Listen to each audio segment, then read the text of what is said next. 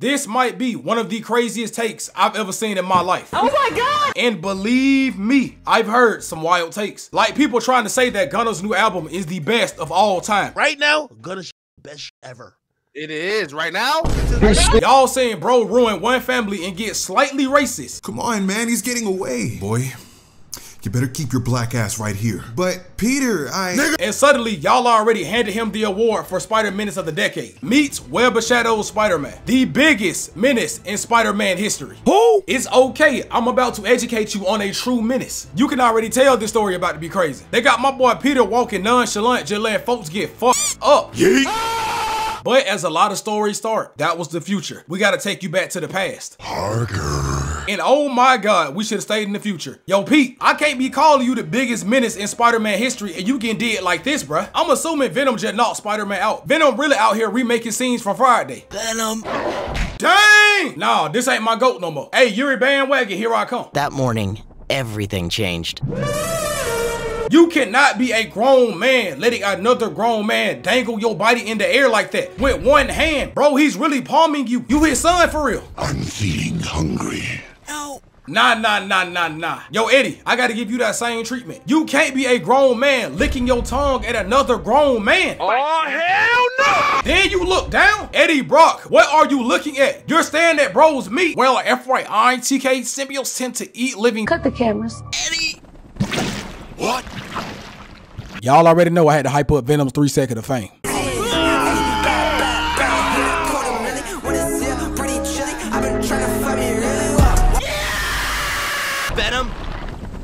Ready for a world of pain.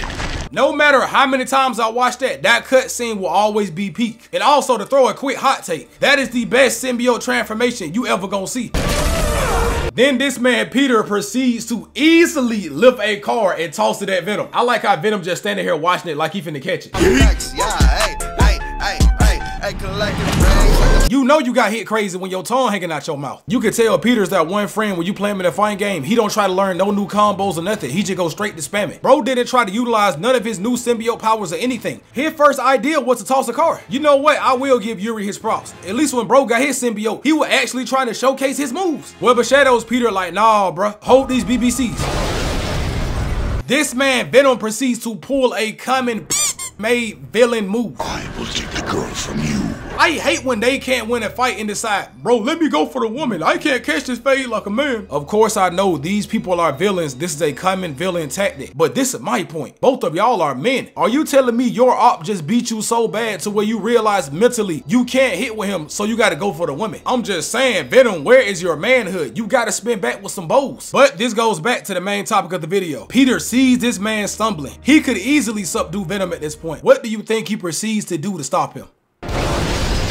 Then my boy proceeds to go Dom one more time. Brock, look at me when I talk to you. No count, if I was Venom in this scene, Peter would have had to kill me. When I tell y'all the way I would have started laughing uncontrollably when I seen bro hit this pose, I cannot take you serious, my guy. So Venom then proceeds to hit Peter with that. Time you turn your back, I'm gonna hit the dash and spin back later. Is she okay? I got your birthday present, but then there was this loud noise. Let me go ahead and put on my big boy britches and say this now. I straight up hate MJ in this game. For the MJ defense force that just spawned in, get off y'all knees. She not gonna let any of y'all goons hit. And for the 2% who's curious why, when I tell you MJ in this game is more useless than Aqua for Konosuba, this book will be my receipt to let y'all know I'm not making stuff up. MJ is trash in this game. So then MJ is hospitalized by doing absolutely nothing. I mean, bruh, useless. So Aqua 2.0 is being taken to the hospital, but she can wait. And while we got this opportunity, I want y'all to look at this. You can't tell me this ain't the stance of a YB fan. The black suit really got this man thinking he black. And look at the aggression in the fingertips. This the aggression of a man. Was dick riding all you do? Okay, back to the story. This is the part where you learn that New York City has basically been turned into Chicago Simulator. Or you could say friendly neighborhood Spider-Man, I'm in the middle of a gang war. Good times. I understand Venom, but throwing a car at a regular human is beyond bunkers. Hold up! My brother in Christ, what are you aiming at? My man literally blindfolded himself, jumped back, and started letting off hot lead. See, tomfoolery like this is the reason y'all oughts be up on the score like 21 to 5. So after Spider-Man gets done with the light work, you get to witness another cold introduction. And speaking of introductions of characters, this game don't miss. You got depressed Spidey setting the tone for this game. You got Venom already about to pack this man up. You got MJ. And then you got Luke Cage doing this.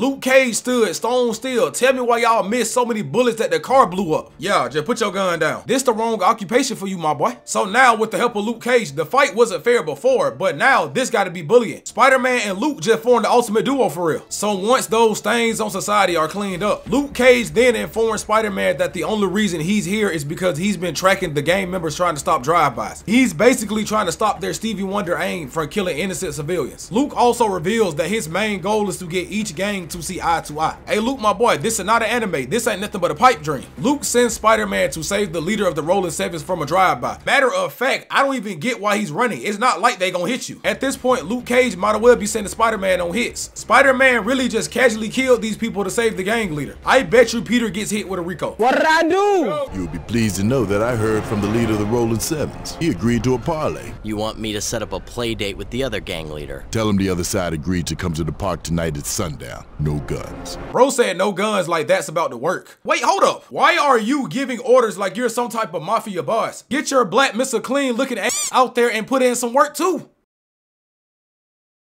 Complete the mission. But Spider-Man folded under pressure and proceeded to roll up on the park avenues. Bro, please, bro. Why are you? How you gonna do his boys like that, then request the audience? Rolling Sevens started all that. They killed my cousin. And you hit back at them and so on. I know Peter didn't basically just say F your dead cousin. I'm saying that you, the leader of the Rolling Sevens, and Mr. Cage are gonna have a little sit down, a little chat. Sevens agreed. Yes, they did. And I suggest you do the same. You can tell this man's scared right now. Because how come when Peter said that last line, his leg raised instinctively in submissiveness? Or Mr. Cage, the police, and yours truly are all gonna be your new best friends. But why? To put it simple, he punked bro out. Now that both gang leaders are set up, in the next scene, you get to see the true essence of a menace. Spider-Man comes to watch over the meeting, but then he feels a disturbance in the force. Spidey sense.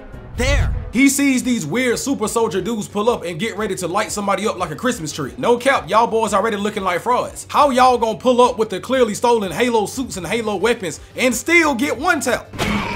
So Spider-Man proceeds to catch one by releasing his webbing on him, and then he notices this. What's this? Oh no. The whole gang war was a setup. So then it shows how the gang meetup is going. Oh, talk, Cage.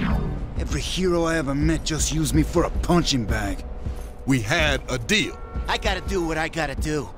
With or without me, my crew is taking down the Sevens. I said no guns. So as these two idiotes are getting ready to kill each other, Spider-Man has an option. He could either show them the evidence and stop this, or he could take the menace path and not say a thing. And you're probably wondering, what does he gain from doing the second option? I think this will perfectly explain it. Nigga think I'm fighting to save the day, but really, nigga, I just like to fight. Tom Spider-Man decides not to tell them your ears get awakened with the sound of an average Saturday night in Chiraq. Is that a RPG? Did you just tank that?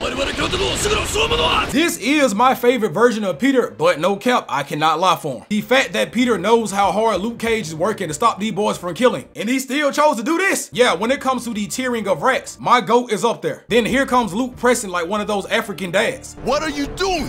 This solves nothing. Actually, Luke, this solves everything. I mean, is Spider-Man technically- Man, shut You knew this whole turf war was a setup? You asked me to clean up the streets, and that's exactly what I did. Maybe they'll all share a cell. I mean, Luke, you really can't be mad. A win is a win, my brother. Thank God Luke's arc is finally done because now we get to see a fan favorite. The stylish headquarters of the fattest man in crime. Hold on, something's up. No, not her. How can Black Cat be working for Kingpin? We just entered the Black Cat arc.